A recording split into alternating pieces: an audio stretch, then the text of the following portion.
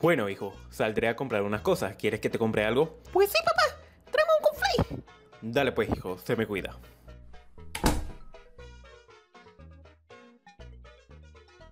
Yes.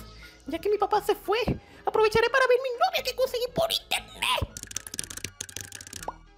¡Mi amor! Hola, mi guapetón, tan bello como yo.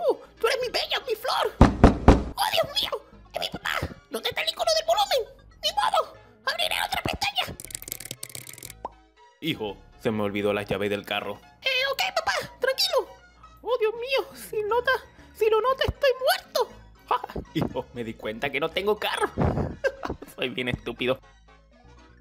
Tranquilo, padre. Mi amor,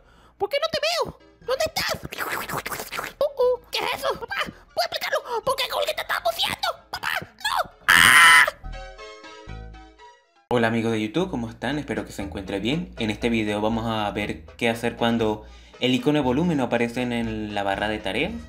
Y para eso el paso es sencillo. Nos vamos a administradores de tareas, damos clic derecho.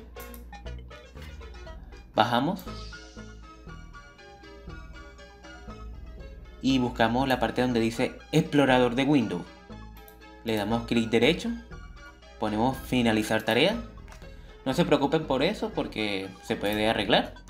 Y lo único que nos queda hacer es ir por acá en donde dice archivo, ejecutar nueva tarea y escribir explorer.exe.